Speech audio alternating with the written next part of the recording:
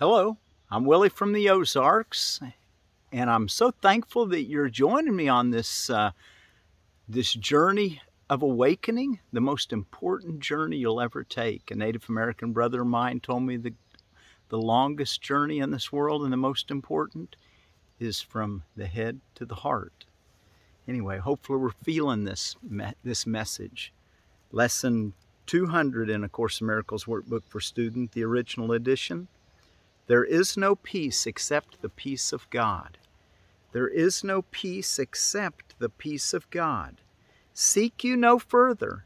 You will not find peace except the peace of God.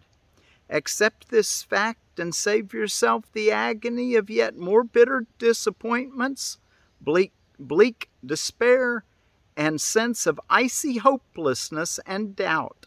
Seek you no further. There is nothing else for you to find accept the peace of God unless you seek for misery and pain.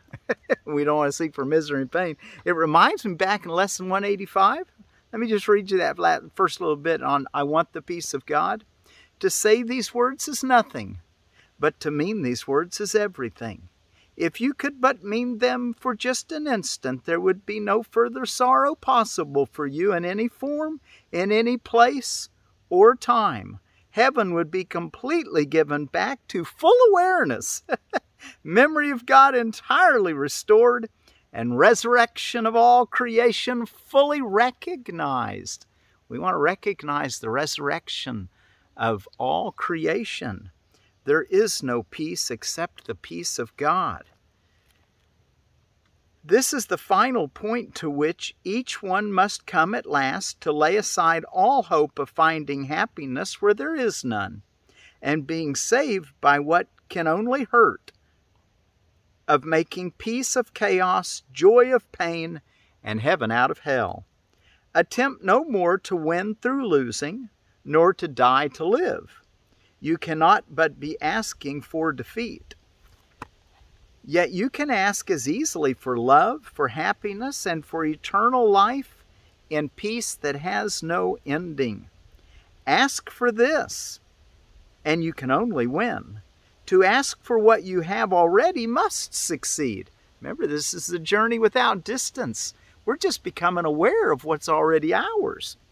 To ask that what is false is true can only fail.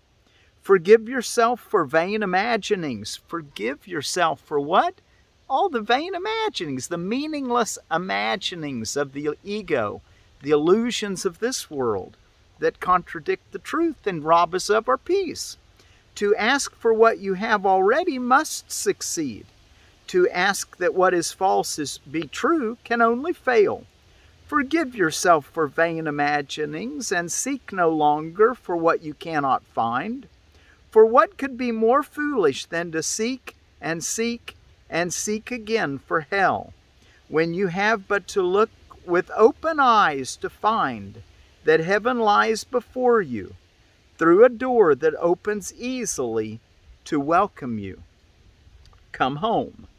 You have not found your happiness in foreign places and in alien forms which have no meaning to you, though you sought to make them meaningful. This world is not where you belong. This world is not where you belong. You are a stranger here, but it is given you to find the means whereby the world no longer seems to be a prison house for you or anyone. Freedom is given you where you behold, excuse me, freedom is given you where you beheld but chains and iron doors. For you must change your mind about the purpose of the world if you would find escape. You will be bound till all the world is seen by you as blessed and everyone made free of your mistakes and honored as he is.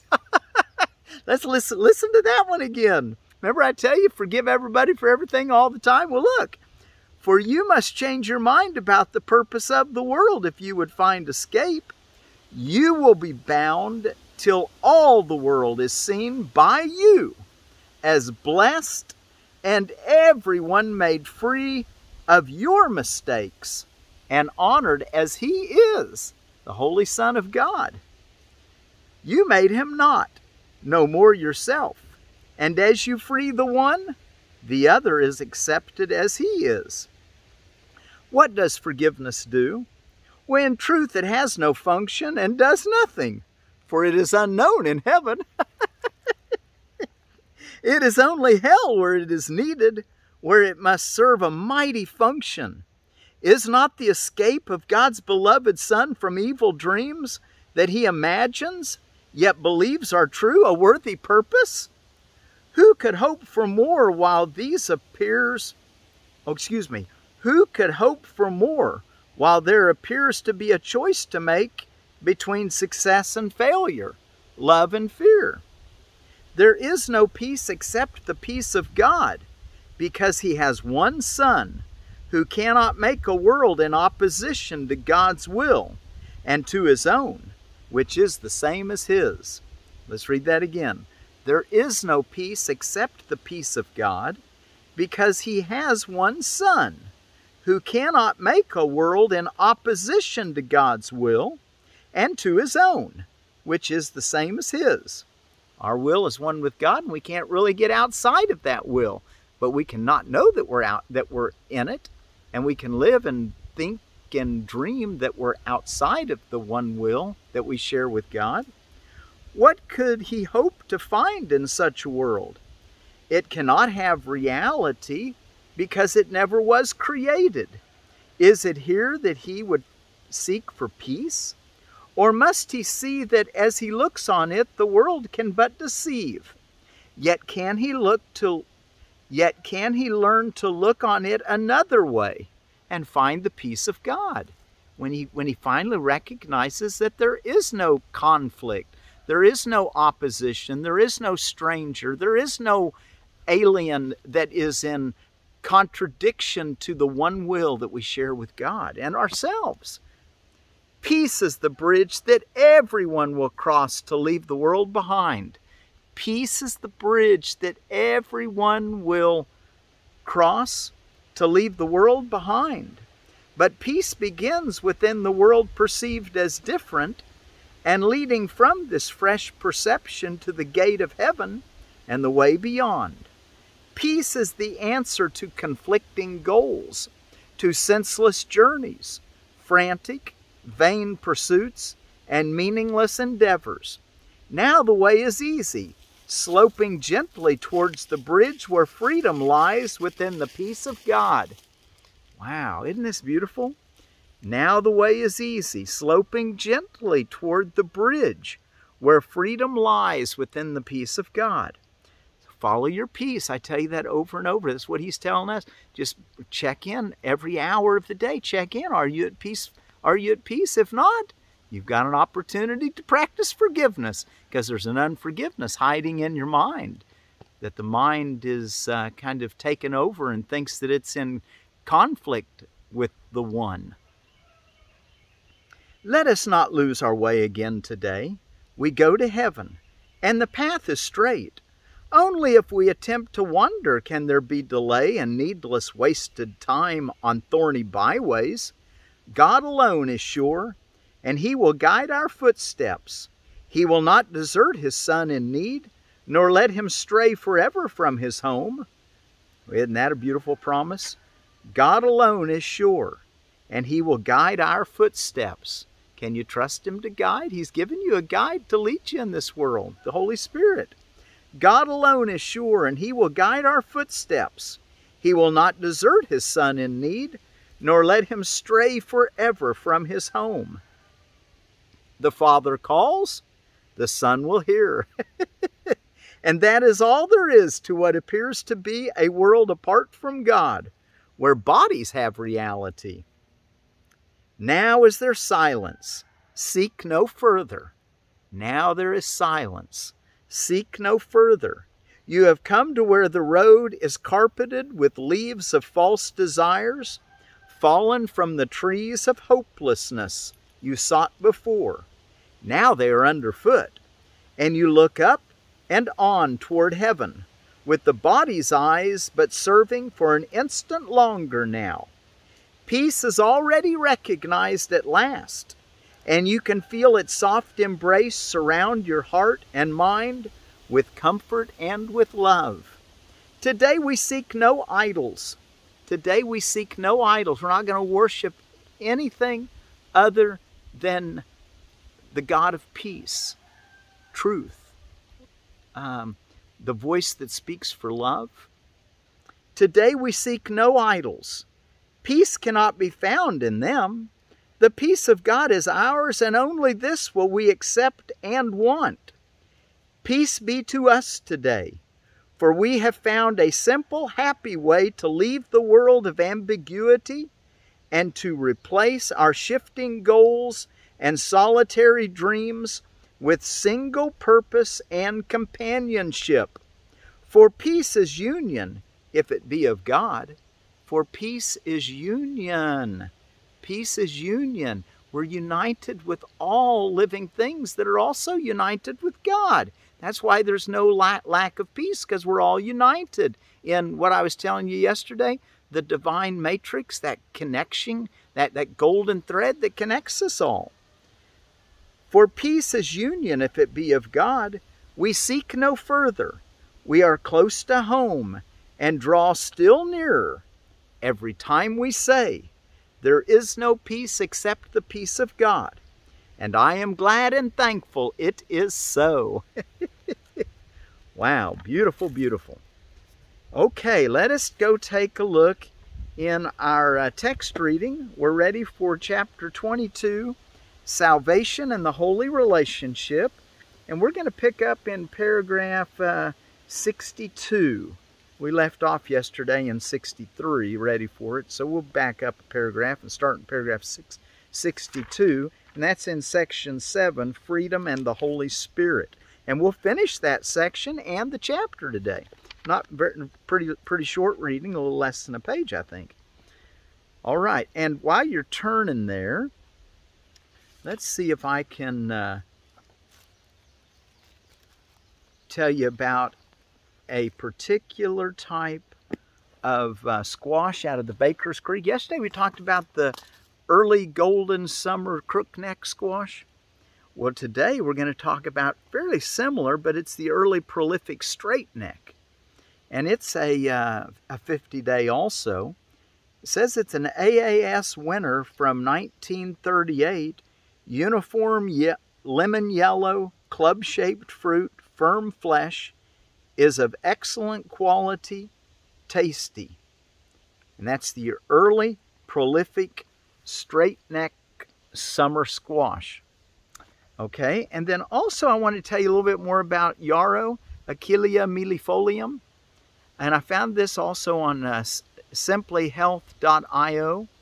And it says that it's, it's, it's astringent and I looked up the word astringent, and it means uh, the causing the contraction of skin cells or other body tissues, or in cosmetics makes the skin less oily. So in, in when you're thinking about it as a wound healer, which you know it dates back thousands of years, being used all many many cultures as a wound healer, well, it constricts the the the, the skin cells, which would help keep it help keep help stop the bleeding. And it also has an antiseptic property in it. And this, this natural antiseptic qualities that it has makes it effective in all kinds of wounds. And they actually found that even with napalm, which is a terrible, um, uh, you know, skin condition when it when that hits you uh, or hits a person, and it, it's it, it's it's known to it says effective when it comes to wounds caused by napalm. I found that interesting. It was pointing out that if it's good for that, think how good it's for, for all the minor scrapes and abrasions that we get throughout our lives. So just a little reminder, that's uh, yarrow. All right, let's go take a look in our reading. And remember, uh, it's all day today. There is no peace except the peace of God, and I am glad and thankful it is so. We want to really keep that close at mind all day today.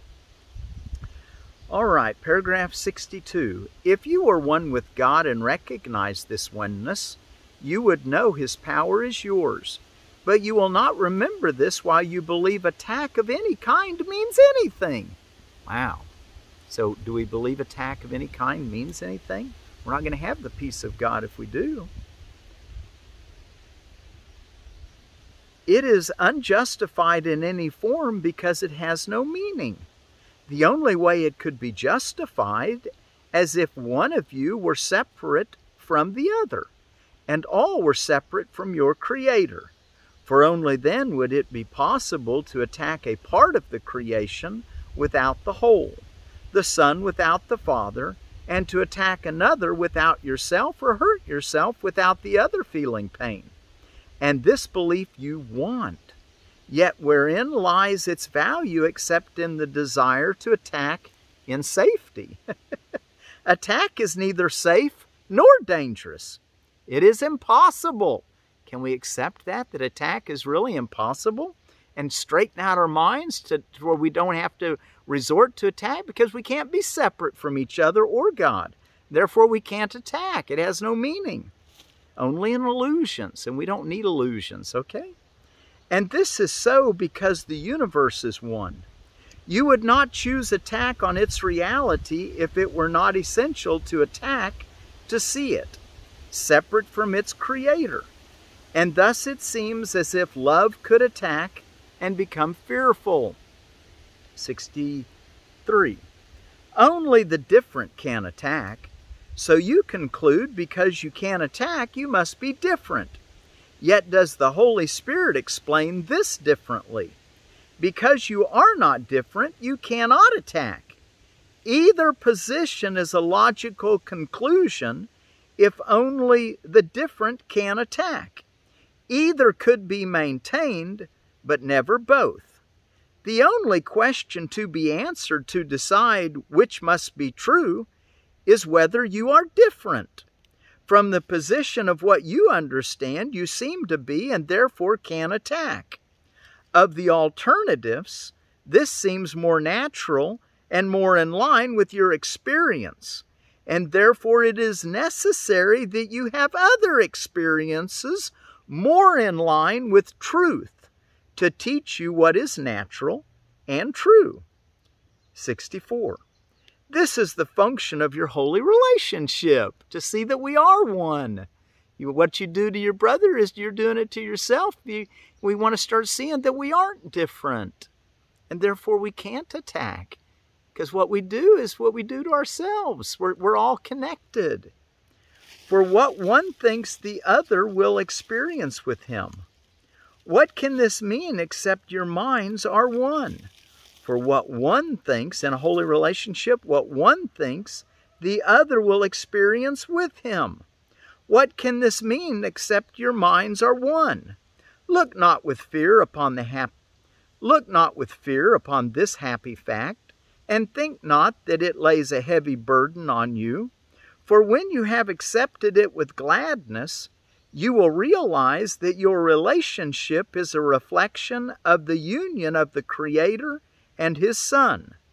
From loving minds there is no separation, and every thought in one brings gladness to the other, because they are the same. And every thought in one brings gladness to the other, because they are the same. Joy is unlimited, because each shining thought of love extends its being and creates more of itself. There is no difference anywhere in it for every thought is like itself. There is no difference anywhere in it, for every thought is like itself. The light that joins you shines throughout the universe, and because it joins you, so it makes you one with your Creator, and in Him is all creation joined. Would you regret you cannot fear alone when your relationship can also teach the power of love is there? which makes all fear impossible? Do not attempt to keep a little of the ego with this gift. Do not attempt to keep a little of the ego with this gift, for it was given you to be used and not obscured. What teaches you, you cannot separate, denies the ego. What teaches you, you cannot separate, denies the ego. Let truth decide if you be different or the same, and teach you which is true. All right. Wow, what a beautiful, perfect reading for our eh, further understanding and our, our lesson for today. There is no peace except the peace of God, and I am glad and thankful it is so. So, you know, where love is, there can't be lack of peace because peace and love go together. And we realize that love is the connecting link between all of God's creation and that there's no one part that's distinct and separate from any other part. So the only way you could attack, you can't in mind because that's union or oneness with God and everyone, all creation. But when you imagine or believe or interpret or rearrange facts and make them and interpret them as that you're separate from someone, now you have to defend yourself. And that's why we want to learn that in my defenselessness my safety lies. okay, because then we're laying down that idea that we're separate. And in our holy relationship, we're starting to recognize that that that our, our thoughts are joined. And um, anyway, hopefully you're starting to get a little sense of this whole reality that uh, that we're one with each other and God.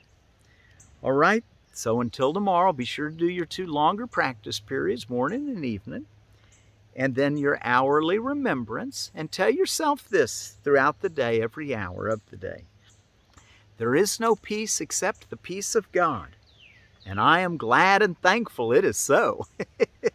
there is no peace except the peace of God, and I am glad and thankful it is so.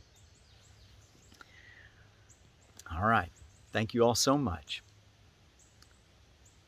There is no peace except the peace of God, and I am glad and thankful it is so. Here I sat down in front of this uh, uh, Quercus rubra tree, a black oak, and over here behind me is a uh, white oak, uh, Quercus alba, and I, I, I, don't know, I just thought I might I'll show you. Let's take just a minute as we say the lesson one last time, look up at the treetops and get a sense of our uh,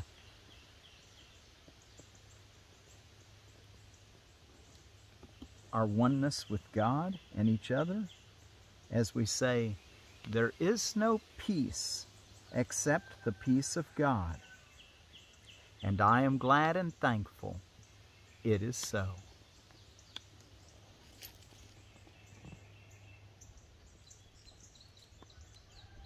There is no peace except the peace of God. And I am glad and thankful it is so.